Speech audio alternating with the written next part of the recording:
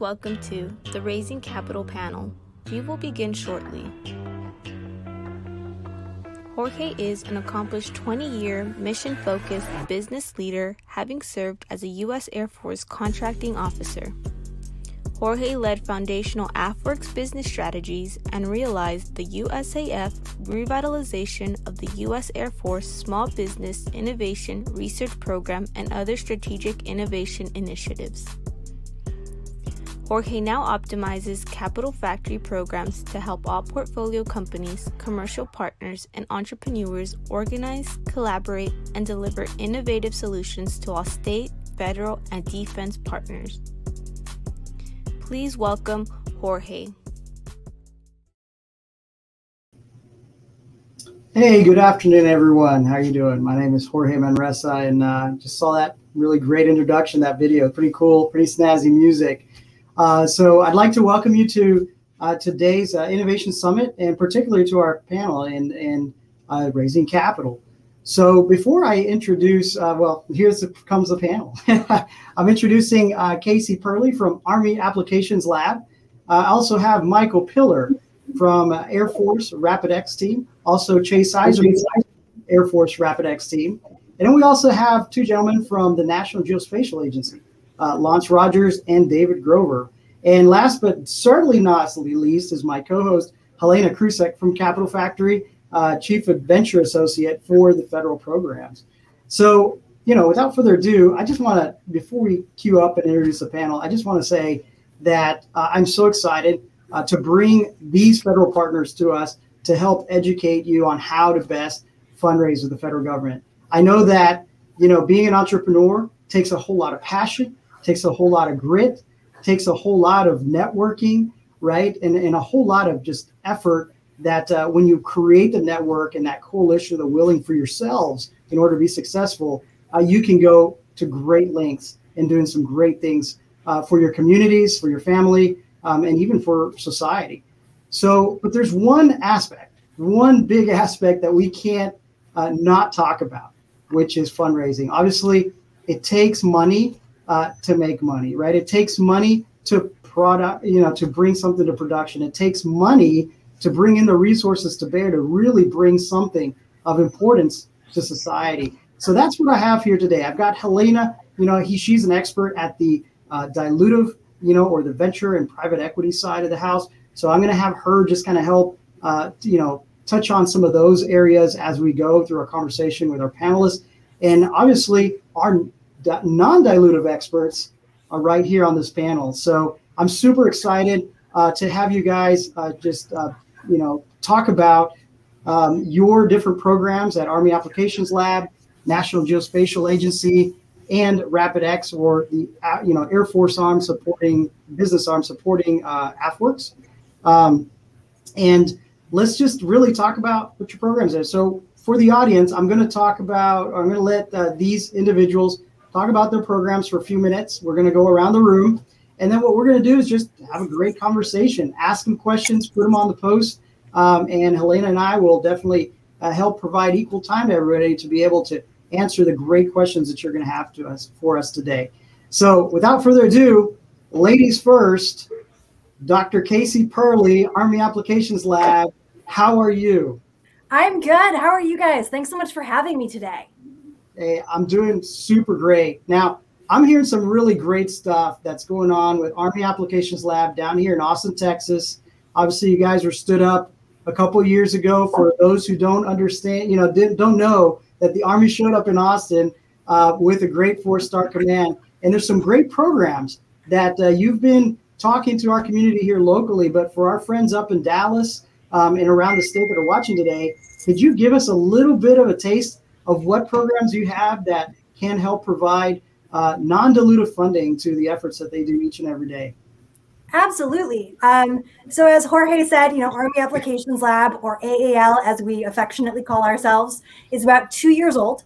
And our mission is to identify, evaluate, and transition technology to soldiers and to fundamentally change the way the Army does business in the, in, you know, in the process of doing so.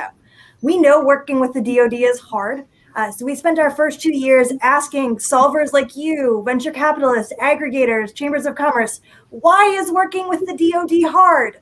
Um, I think it was therapy for them. They gave us some really great feedback. And to that point, all of our programs are designed to improve access, transparency, and speed to capital for all of our, our solver partners. When we talk about access, that's reduced application requirements and access to soldiers and stakeholders who are the problem owner. And that really is the key for us. We solve Army problems. Um, you know, for the way every service innovates differently, um, the way that we found is really effective in the Army is to go out with a problem, have all of our stakeholders aligned from the modernizers to the acquirers, who are the people that buy the technology, upfront. So there is that path to long term revenue. That is that transparency piece that we like to talk about. And then also, we know we got to get you capital quickly. The Army is not great at that. Um, a lot of times, what I like to call proof of concept contracts that are about $200,000 or less can take nine months. That's not okay for anybody. Um, so, some of our recent programs, we've been able to get companies on contract within 30 days of solicitation close and then speed capital to them you know within the second week of that program um, so that you aren't paying out of pocket to work with the dod Awesome. Well, Casey, that that is is pretty phenomenal. I'm super excited about your program because again, um, a lot not a lot of people know about it, but it's it's going to be really game changing in my in my eyes, just like AFWERX was. And I'm not going to steal their thunder. They're going to talk about you know some of their programs with RapidX. But before doing that, I want to go ahead and hand it over to Helena. Helena, how are you doing? I'm doing okay. I was just on another panel, so I'm just I'm I'm running around discussions here today at UT Dallas. I'm doing great. How are you, Jorge? awesome. Doing super super great. Just wanted to make sure that you got a chance to catch your breath from the other panel that you're on. Um, but uh, tell us a little bit before we move on to NGA. Tell us a little bit about you know what you do on the you know federal side with the private equity side, and then and then we'll move it over to uh, NGA to introduce their program. Yeah, certainly. So, um, for those that don't know, I, I, work for Capital Factory, and we like to think of ourselves as the, the center of gravity for entrepreneurship in the state of Texas. And what we're really trying to do, our mission, why we're here, and what we're trying to do, is to help technology entrepreneurs to meet the most important people in their lives. That's their their customers, their mentors, their staff, and their very first institutional investors. And we do that in a lot of different ways. But really, at the end of the day, there's there's two main ways that we engage with entrepreneurs.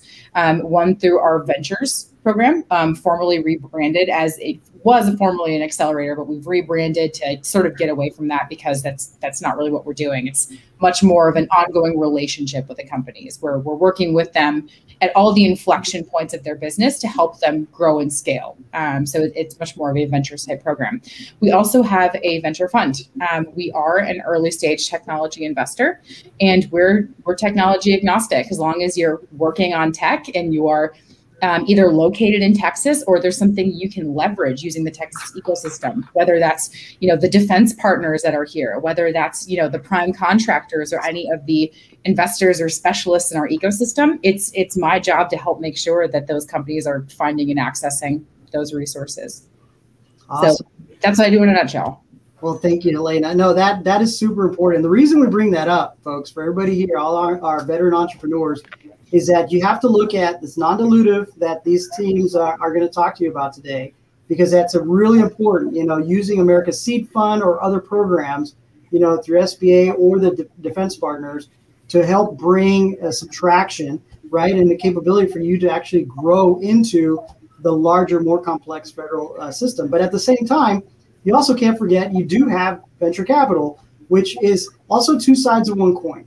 You know you can't depend on one completely and be completely successful. So I think what this ecosystem and these guys are bringing to bear here uh, for our you know vendor community and and, and just venture uh, um, and entrepreneurs writ large is the ability to kind of bring a marriage between non-dilutive capital and some of the venture capital together to help accelerate programs for national objectives and national interests. So with that, I'm going to go ahead and pass it over and introduce National Geospatial Agency and our team that we have here in Austin.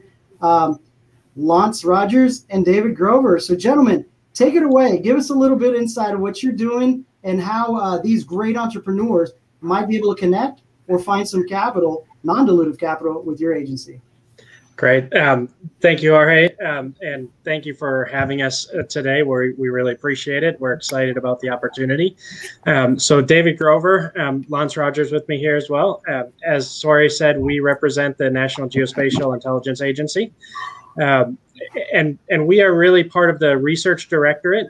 Um, so, our, our mission is to deliver that future GeoInt capability and um, and bring operational impact into GeoInt and GeoInt intelligence. Um, we conduct research uh, across a broad spectrum of, of science, engineering, uh, and transform those into um, national security capabilities for our agency uh, and, and for our nation. Um, so, so we we do that through a variety of mechanisms uh, both through through government partnerships, through industry, which is what we'll talk about today, and through academic relationships. And I'm going to I'll just briefly touch on those as well. Um, but primarily, um, we are a little bit more traditional in in how we do our our funding and our opportunities. The primary uh, avenue that we still use is the broad area announcement. Um, so on things like betasam.gov, um, broad area announcements, we are changing that a little. Um, as uh, Casey mentioned, they can take nine months, a year plus to, to get on contract. Uh, some of the things that we're trying to do when, when you look today is, is we have what's called a big R BAA. Um, and what we're doing with that BAA is, is, is we are now opening that single BAA and adding uh, multiple topics underneath it. So instead of multiple announcements coming out that you have to keep looking back and, and going for and, and trying to pay attention, oh, what did NGA put out this time? Um, you can actually just continue to look at a single announcement. They'll put multiple topics underneath. We have what's called a um, seedling open topic, which allows you to submit a white paper to us on any topic that and any solution that you feel is relevant to us. Um, so, so it really opens up the aperture to what you're able to, to bring to us. Um, we are also now able to do multiple contracting avenues through that single solicitation. So we are no longer limited to just some of the FAR-based contracting. We can use um, OTAs, OTs, um, we can actually do grants and, and some of the academic proposals through that as well. And we can push you into things like our, our SBIR, Small Business Innovation and Research Program. Um, so that BAA is, is how NGA is really pushing forward. Um, as I mentioned, we also have an SBIR program. Uh, very similar. We we follow the DoD guidelines for the SBIR program, um, and so we will follow the same guidelines that that uh, both Army and Air Force will will talk to you about as well. Um, I know the Air Force is, uses their SBIR extremely uniquely, and we, we partner with them on that and, and have for the last year or so, which is great. Um, we also have things like prize competitions. Um, we have uh, CRADA opportunities as well as um, some academic programs in, in the NURI realm that that as you and postdoc programs that that if you're just leaving school and and starting uh, as your postdoc, um, we have uh, programs that that allow you to get funding through there as well. Awesome, you know, and and David, that was super super great what you did. I mean, just kind of explaining NGA and kind of the different mechanisms you use because it's kind of more on the traditional side, but you guys are also focusing on certain areas. And, you know, a lot of people might not know what National Geospatial Agency does. So when you're looking at kind of that big RBAA real quick, can you tell the audience kind of what areas is NGA somewhat interested in? Um, just just for everybody, they might not understand NGA is actually another DoD agency in there. Uh, give us a little bit of that. Yeah. Absolutely. Um, so we have an entire NGA strategy on technology and, and what we're doing, doing and trying to go forward. Um, so in a synopsis, you can find that strategy on our website, nga.mil. Um, but really, the, the three main focus areas that we have going forward are foundational GeoInt technology. Those are things like um, terrestrial and celestial reference frames, um, magnetics, um, feature extraction, attribution, um, bathymetric models, infrastructure, those kind of things. Um, we have advanced phenomenologies, uh, anything that has to do with uh, PNT, precision navigation and timing, and, and the resilience there. Uh, Um, we have space situational awareness underneath, information assurance, so everything in the IT infrastructure type piece. And our third area that we're really focused on is analytic technologies.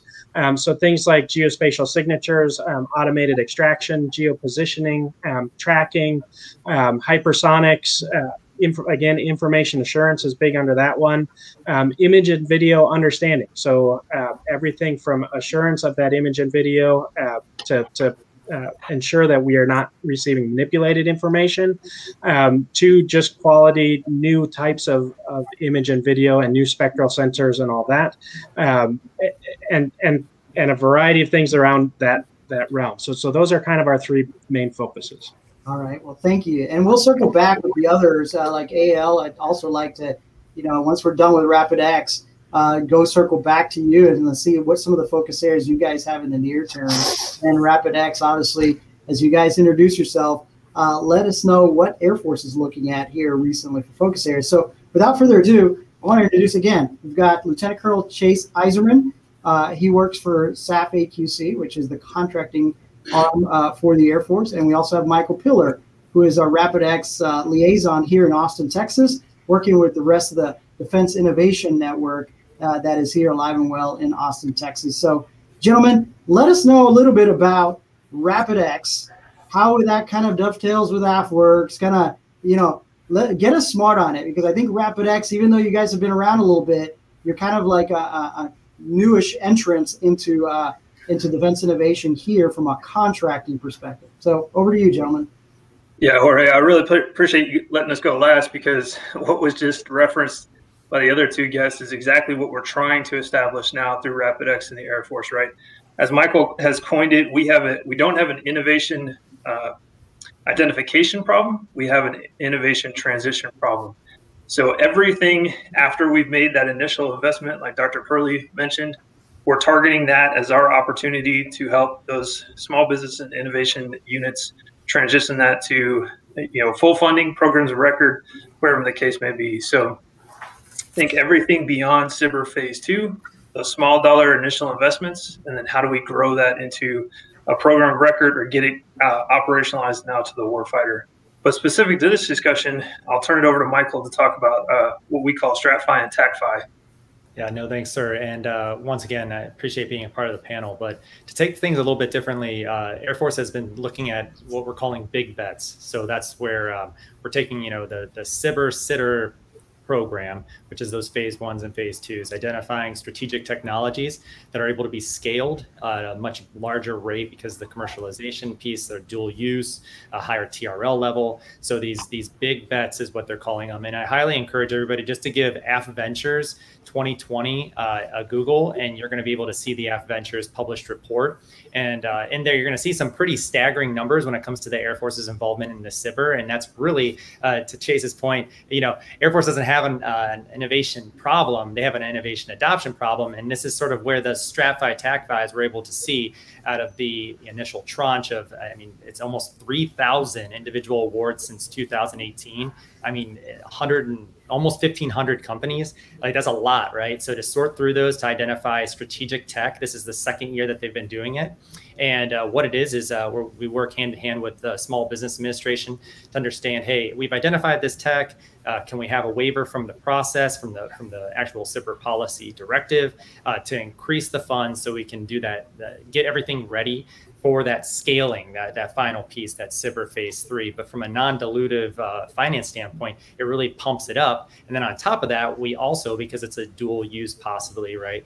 Um, there's that private investment piece. So we're actually trying to bridge the two to incorporate them and say like, hey, we will match, you know, Air Force fundings, uh, AF, uh, Air Force SBIR funding, and that, that those two pieces, we want equal amounts of private investment too and then put them together. So the possibilities are upwards to $60 million for, for a potential contract um, in certain technologies that will be game changing as, as uh, identified by other individuals like Dr. Roper, right? And uh, he's a big name. So uh, possibly a way more enthusiastic speaker than myself as well about this topic.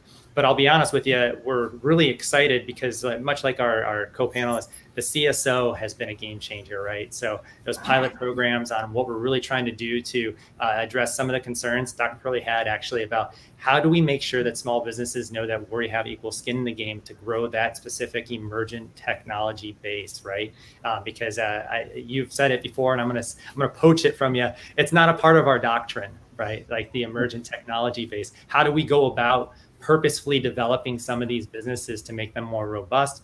And uh, I always tell people, you know, we learned a lot about ourselves during this last disruptive year, right? Uh, what what are we remembering about this? You know, well, number one, we shouldn't rely on people that's outside of the states to, to provide us supplies, right? Like that that's just like a generalized thing. Well, how does that apply to the Air Force? Because we are a part of that environment, right? Like how do we develop a domestic capability for that. And then more importantly, uh, from a counter acquisition objective, that's something else that Jason and I are pursuing as well. So I'll get off my soapbox and plenty more of where that came from if you want.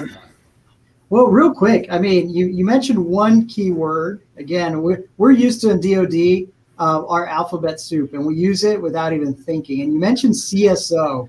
What the heck is that, man? I mean, what is a CSO? Because I everybody knows uh, small business innovation research. You know, uh, you know, Small Business Technology Transfer Program, right? As SBIR, STTR. But in the alphabet soup, you just dropped out CSO. Explain that a little bit. And how yeah, is that, that, how is that related to our fundraising? Absolutely. So um, what it is is actually uh, mm-hmm. it was initiated in a uh, the National Defense Appropriations Act of fiscal year 9 or 17, 16, 16 if I'm not mistaken. And uh, so President Obama said, hey, listen, we want to be able to, to reach out to our commercial sector, our non traditional business space. And let's do a pilot program essentially, which is we want to see if we are going and approaching things from a different solicitation method, which commercial solutions openings is a solicitation method.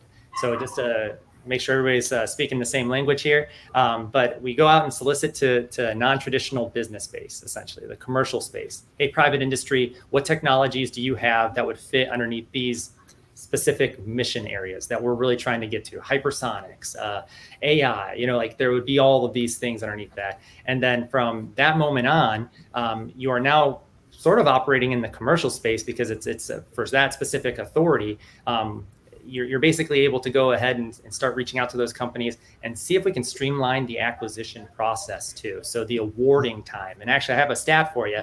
So um, on average, it takes about 72 days for, for the AFRL team to use a CSO uh, to award their contracts uh, as a result of, of that solicitation. So 72 days.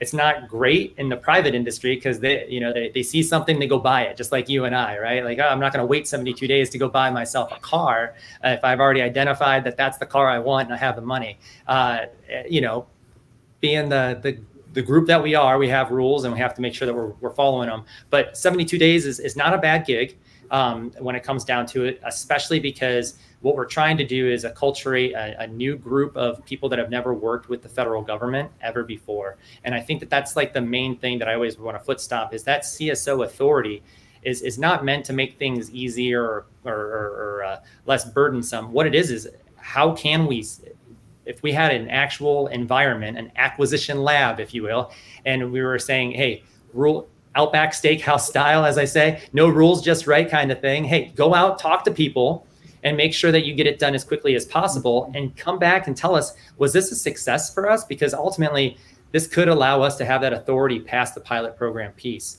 Um, so I, I, sort of deviated a little bit but from the air force's point of view and i would actually be interested to hear what nga has to say about using csos um, but from from where i'm sitting right now uh, it's been i would say successful is a good word. Um, i do think that we're sort of di- data mining all the information that we've gotten because they did use CSOs to try to bring in commercial, non traditional businesses during our COVID response for the Air Force led efforts, right? So we're still trying to data mine how many companies did we attract? How quickly were those boards done? Are there any issues with the process? And then capitalizing on it. Awesome. Awesome. Well, thank you for that. Lance, did you have something? It seems yeah. like you were raising your hand. Go ahead, brother. Yeah, I'll jump in here representing NGA with, with David Grover here. So, yeah, a couple thoughts I wanted to add. I, I can't speak particularly to NGA's use of CSOs, but, but I, uh, another acquisition method that folks are hearing more and more about is the other transaction authorities. In, in, in NGA, it has been you know, we're leaning forward. We're trying. We're just like the rest of the folks on this call. We're we're DoD. We're part of the IC. There's there's there's rules and regulations, but we do have OT authority, other transaction authorities, otherwise known as OTs. But NGA has been using those now for several years. We're getting better and better at them. And in fact, in in, in certain situations, traditionally we, we've done all our OTs via consortiums, and we're still using consortiums for some of our OTs, but we're finding those right ones where we have the, the broader reached industry directly from NGA over the last few years of, of trying to energize their innovative innovation efforts, we're, we're starting to send some OTs straight to industry. And, and that's uh, and, and that's one way we're, we're trying to innovate and evolve our acquisition processes. The other the other one I wanted to bring up when it comes to non-dilutive capital is NGA is actually currently running an accelerator out of the St. Louis area. So if folks aren't aware, we have two major headquarters one on the East Coast in Virginia area, DC, and the other one's in St. Louis, Missouri area. And uh, in the, the first cohort of that accelerator, we have three planned is ongoing now.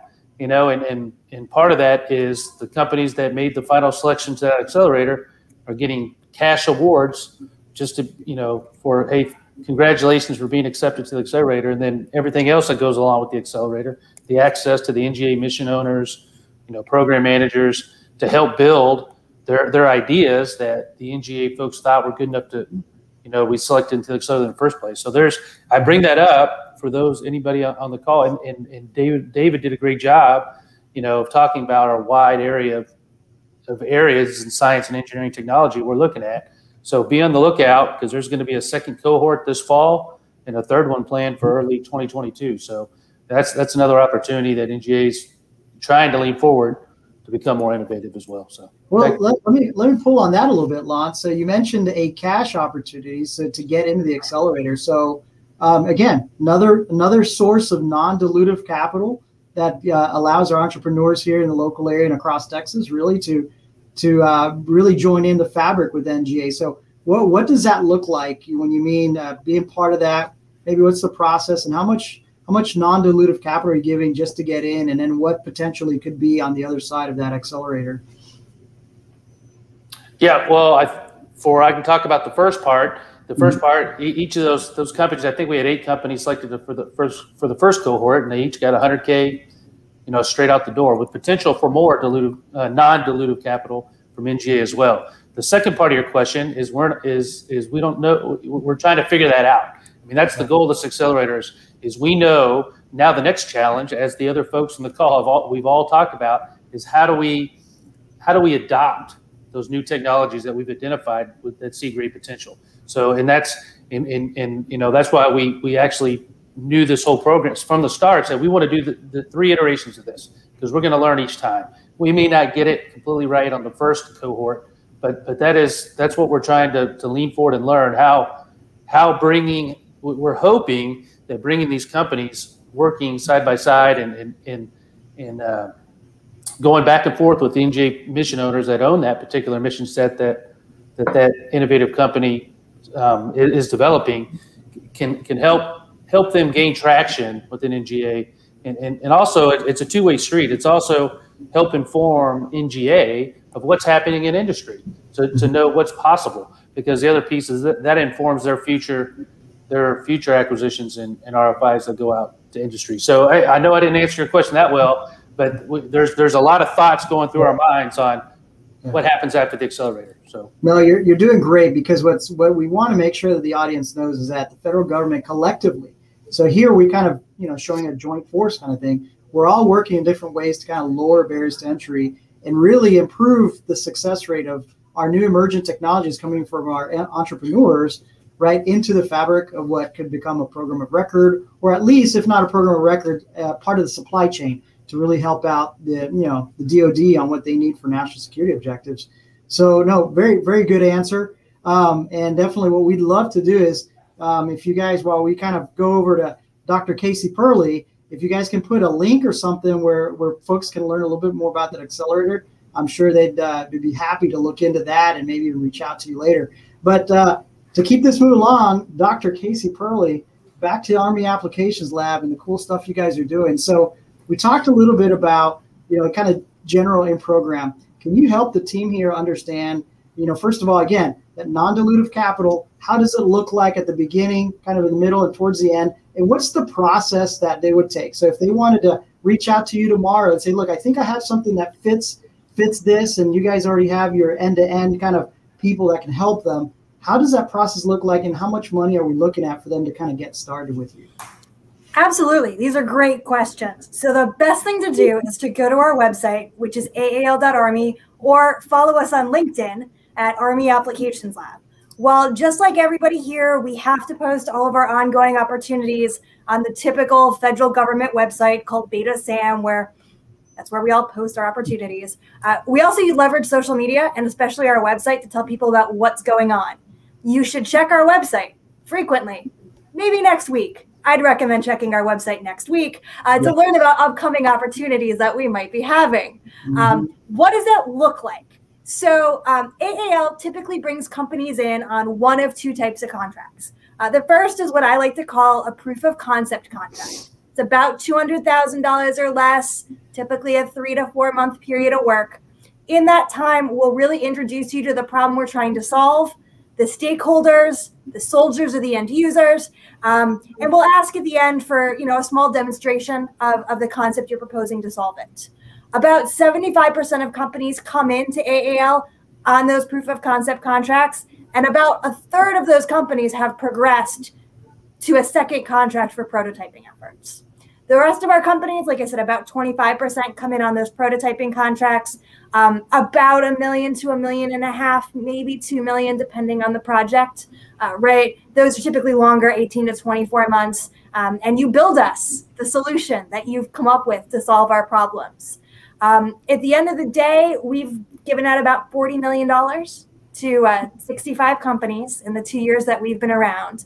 Um, but what's exciting to me is that one of the companies we've worked with has actually been able to grow their workforce by a third uh, through their DoD work. Uh, and another company was able to accelerate a funding round and successfully closed it on the strength of the work that they've done for us proving that you know not only are we getting value from working with these partners and bringing their ideas in but these companies are also getting value for their for themselves for the work that they are doing with us that's awesome i mean thank you for that casey and, and you actually you answered one of our uh, our questions from the audience which was kind of how much money has been committed from the non-traditional small businesses in one fiscal year now i can say that you know there's about maybe a year and a half worth of good data because you know DoD's been really working hard at how, how do they compress, accelerate, and repackage these programs. But you know, to to Casey's point, 65 million, um, that's nothing to sneeze at. That's really great traction, and hopefully more to come as these programs mature.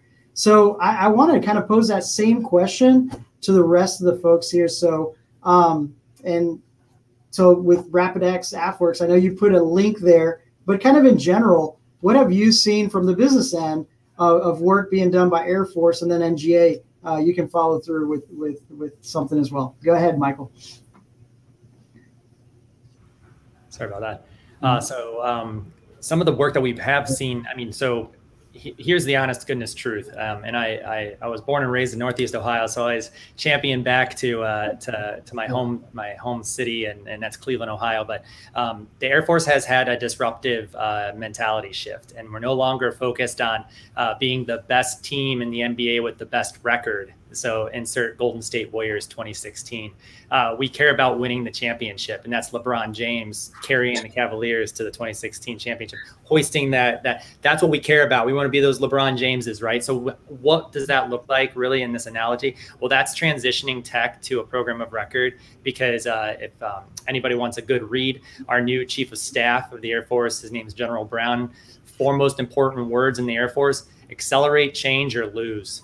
Like that's it how do we get that disruptive technology fielded quicker? How do we get that accelerated or agile ability to, to put something on contract, get it into a program program of record, and get it fielded out to the to the airmen's and guardians of the world? Right. That's what we're trying to get to. But most importantly, understanding what what realm, what what how do we go about looking at our investment portfolio right to understand really where where those areas are that we're investing the most into? And then more importantly how do we pick out the winners just like anybody else we have to have a return on investment and that's that next gen metrics is what I'm calling um, out, uh, outcome based um, metrics. So really, what is what is the disruptive force or the actual increased capability? Is it speed? Is it ability? Uh, I, I don't know if anybody else is tracking this, but the the United States government admitted that we have UFOs like is are we going to be able to to match ufo engines you know that sonic no boom it doesn't sound? Like are we going to be able to match ufos is that the technology that we're chasing? You know like those kinds of things that we're trying to redirect everybody's energies on. And that's why um, uh, we put a we put a link in uh, one of our private chats, but uh, I, I, highly recommend um, taking a look at that AF Ventures year-end report. Um, to talk about dollars specifically. Mm-hmm. It's a, a 710 million dollars have been awarded to phase one and phase two. So much like uh, AAL and mm-hmm. NGA, we have like those different phases. So proof of concept, mm-hmm. prototyping, white papers. Yeah. Those, those things. Um, but uh, as far as like those specific examples, there are a few that are listed in that uh, AF Ventures year-end report, but specifically it's pretty wide um, as far as like our, our net. Okay, awesome. So we'll take a look at that report, but man, seven hundred ten million dollars, man, that that's a lot. Um, but but then again, you also mentioned transition, so there's probably a little more questions there in just a second. But how about Team NGA? Um, what do you guys have as far as some metrics to to answer uh, Paul Lynn's question here in the chat? Um, so honestly, I'm going to plead the fifth on our, our metrics a little bit. Um, so understand NGA is a much, much smaller organization than um, our, our military and DoD partners. So our overall budget is um, fractions of, of what they are.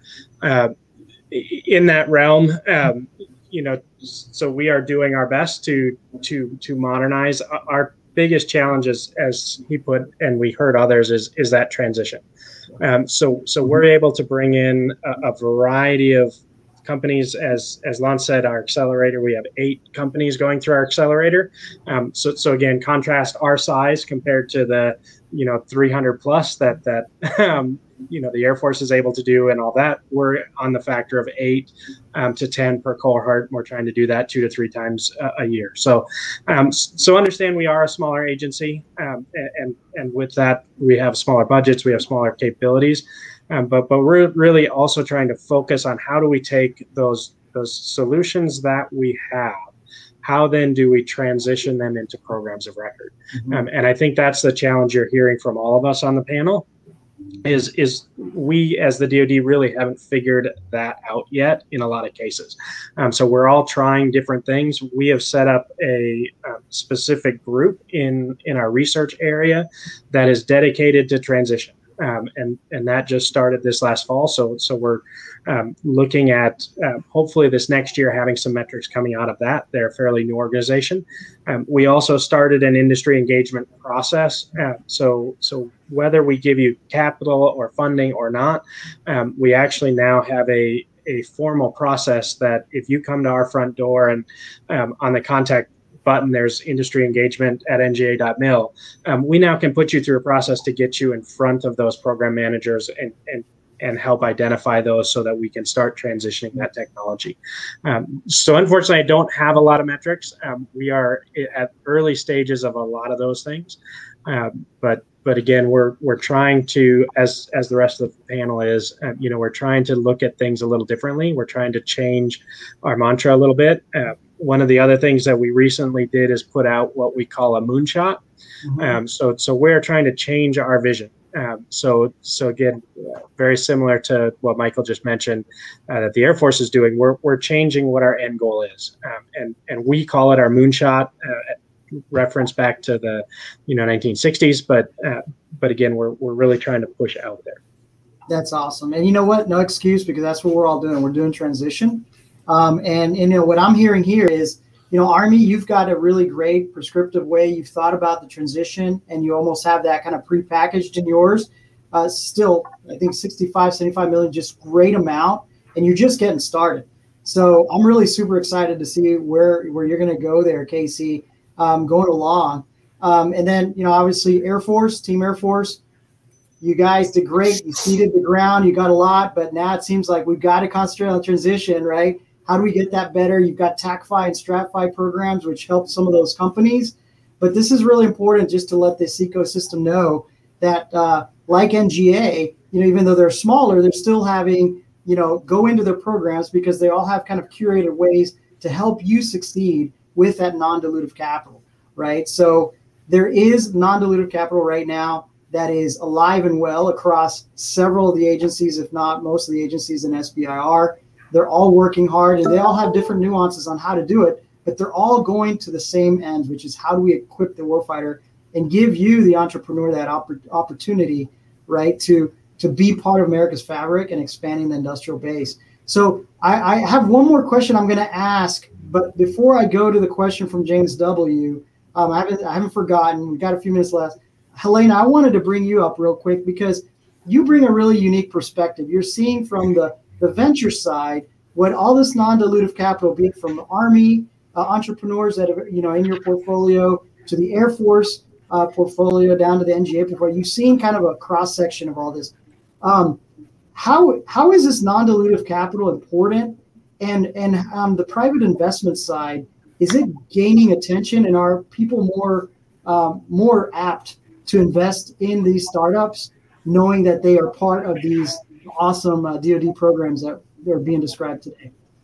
That's a really good question. So I, would say that the answer is yes, and there's there's definitely caveats there. So in, in my experience at Capital Factory, one of the things that we're seeing, um, and this you know this could by nature be a, a, direct result of COVID, right? And the the requirement that everyone has to go be indoors for a year, right? You know the way that a lot of venture capitalists work for a long time is that you would go and meet people for coffee constantly, back to back with meetings. And one of the things that we saw is that entrepreneurs and investors were forced to move virtually. So we were able to, um, you know, look at things that we might not have invested in previously, um, whether that's geographically or because of specific technology areas.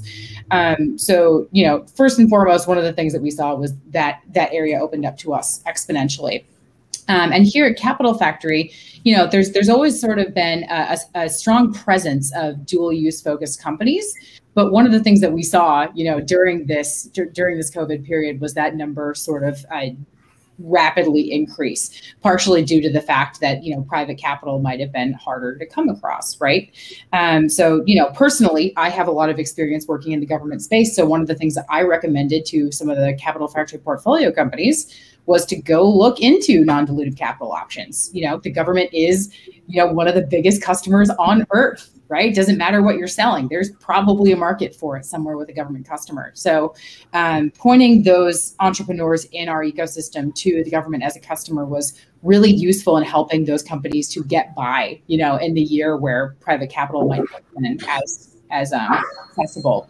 So um, the answer is yes. We, have seen a lot of companies um, have this shift you know previously where they might not have thought that they qualified as a dual use company. They found that you know what they were working on even though it's not an explicit defense application was a strong dual category. And they were able to go find a customer and able to go out and um, you know contribute to that new base influx of companies that you know AFWERX and AAL and all these organizations are investing in. So short answer is yes we're seeing a lot of it um, in terms of what we see as you know favorable, I absolutely see that as a strong, uh, strong case study that there is dual use applicability here, right? If you're coming in and you have uh, you substantial SBIR and STTR awards underneath your belt, if you're making progress towards program of record and you have a customer in the government that is continuously wanting to iterate and work with you, that's a really strong proof point that you're probably uh, you know, a good candidate for some kind of dilutive capital.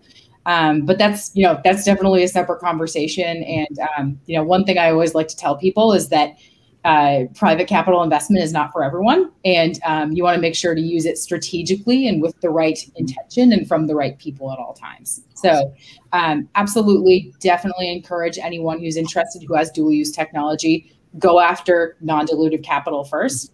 Um, and then let's think about what's the right type of uh, you know diluted capital for you to go after, whether that's you know angel investors, venture capital, family offices, private equity, et cetera, et cetera, et cetera.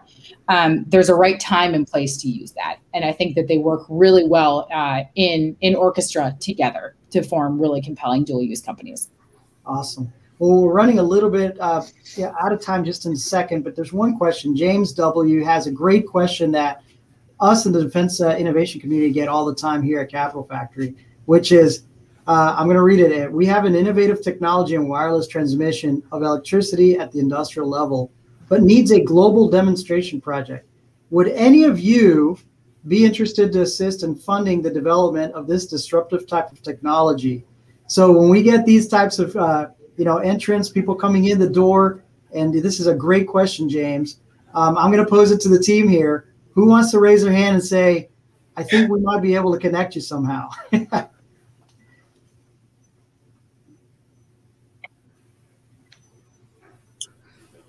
Anyone? I think the short answer is we want to know more, right? You know, yeah. from, a, from a dilutive or non-dilutive standpoint, we definitely want to learn more. And um, I can definitely say from the Capital Factory perspective, shoot me a deck. I'm always looking for these kinds of technologies and um, you know whether or not the folks in this room are capable and ready to find a customer for you there's there's definitely a space that um, you know a group like capital factory can help. So always open to get uh, pitch deck. Awesome. Yeah, similarly from the Air Force, we've got uh, open challenge for uh, new energy sources and types. Uh, so that's out there uh, for someone to submit against. But same thing, we need to see the deck and see more information and, and see who we can hand that off to that, that's in the energy sector on the Air Force side. Over. Awesome. Thank you. I mean, I'm just going to echo what everybody has always said. Like, more information is key. Um, but for us, it's always keep an eye on our LinkedIn, keep an eye on our website. And if you think that is the solution to a problem we have, definitely want to hear more about it. Um, and we match the amount of funding required to the problem we're trying to solve. So. All right. We would echo the same thing. Awesome. Well, hey, we had a great discussion. I want to thank all the panelists here, uh, Army Applications Lab, Casey, Thanks for representing. You always do an outstanding job. Uh, Chase, Michael, always an honor to have you guys online, my old colleagues.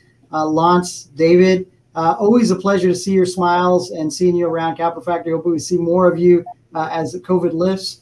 And Helena, absolutely super uh, honored to always work with you and uh, and learn from just the the dilutive side of the house because that's kind of new to me. But uh, I want to thank you guys all, and just kind of in closing remarks to everybody here that's watching. Um, here you heard it from really the the source of information that you want to be reaching out to. You know, Army, Air Force, NGA. I also know that NavalX they weren't able to be on this call today, but you've got DIU as well. Um, we've got a lot of DoD uh, um, capabilities that are coming together to really help the American entrepreneur. And you, as veteran entrepreneurs on this call, you just need to know and be aware that there's a lot of not only people uh, making themselves available uh, here in Austin, but across Texas, right, to to help you to help prop you up in your innovation. But to their point, uh, it's really hard to just come in and says, "I've got a great idea that can change the world." Um, it's up to you to really bring that deck and really put uh, really align yourselves with what they're putting on their websites and their documentation. Say, "This is what we're looking for for national security objectives." Not everything will make it, but there's a lot of con- congruity that you can find with, or congruence that you can find with some of the things that they put up there and the things that you're working on. And a lot of times, what I could just say, just from experience, it might just mean that you need to tweak your solution, your idea, or your problem set a little bit differently in order to meet the requirements that the government is really looking for. So if you do that, you do that, I, I am 100% positive that the wonderful people that are on this call and a lot of their colleagues uh, will be there to assist you, guide you, maybe even mentor you a little bit before you can reach that level of success. But do not be dismayed. There is capital, there's a lot of non dilutive capital. It just takes a little bit of homework. But if you do that, having the grit that every entrepreneur has, you can be as successful as a SpaceX maybe one day.